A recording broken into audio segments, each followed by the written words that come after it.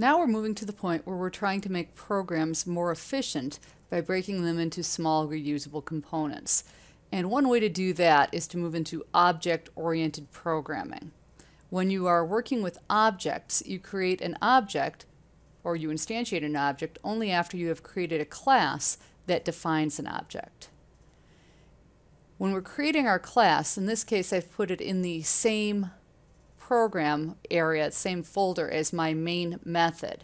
So I have a pa I'm in package com Mary Wynn public class contacts. You'll notice that we don't have a public static void main here. This class will never do anything on its own. It must be instantiated from another class to work. It's setting up a pattern and it will be used to create objects. Each object can have all of these different variables contact ID, first name, last name, email, phone home, phone work, phone cell. We have a constructor that will initialize all of those variables. And then we have getters and setters to get each or set each individual item, allowing you to change them after they've been constructed.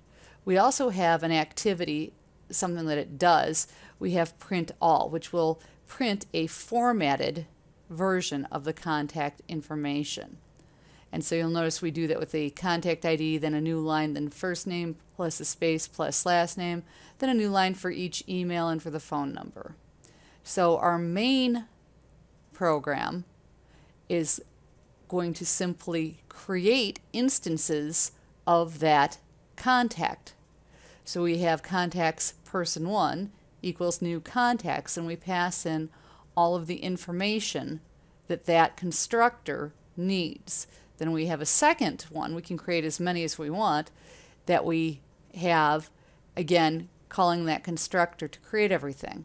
Then we use person 1, we use the object name to call print all, and then it will know to call all the information from that object.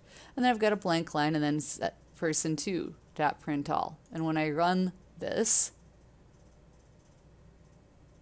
you'll see it prints formatted versions of the different contacts that were created so that it is nicely formatted on the screen. This is very similar to what you're going to be doing for your employee class and instantiating it. You don't need to get input from the user. You'll create three instances and the employee information is different, but it's basically the same setup.